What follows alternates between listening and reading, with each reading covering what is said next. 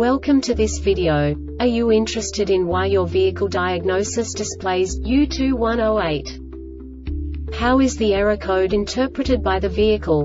What does U2108 mean, or how to correct this fault? Today we will find answers to these questions together. Let's do this. First, let's look at the history of diagnostic fault code composition according to the OBD2 protocol, which is unified for all automakers since 2000. We divide the electric system of automobile into the four basic units. Powertrain, body, chassis, network. This distribution is defined in the first character code. If the second character is expressed as zero, it is a standardized error. In the case of numbers 1, 2, 3 it is a more prestigious expression of the car-specific error. The third character specifies a subset of errors. The distribution shown is valid only for the standardized DTC code. Only the last two characters define the specific fault of the group. Let's not forget that such a division is valid only if the other character code is expressed by the number 0. Our website airbagreset.sk produces useful videos for you. You do not have to go through the OBD2 protocol anymore to know how to troubleshoot any car breakdown.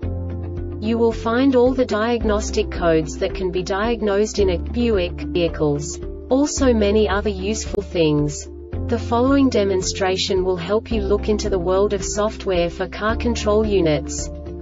You unbelievably can move the video a bit further. The error code is split into two bytes consisting of 16 bits. One bit is the basic unit that each computer works with. The bit has two logical states.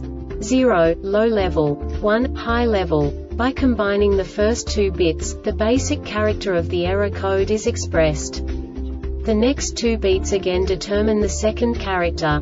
The last beat styles of the first byte define the third character of the code. The second byte is composed of a combination of 8 bits. The first 4 bits determine the fourth character of the code. And the combination of the last 4 bits defines the fifth character. A single byte conceals 256 possible combinations. We now know in what way the diagnostic tool translates the received information into a more comprehensible format. The number itself does not make sense to us if we cannot assign information about it to what it actually expresses. So, what does the diagnostic trouble code U2108 interpret specifically Buick car manufacturers? The basic definition is front evaporator temp sensor circuit failure. And now this is a short description of this DTC code. Module configuration failure. This diagnostic error occurs most often in these cases. EMTC faulty. The Airbag Reset website aims to provide information in 52 languages.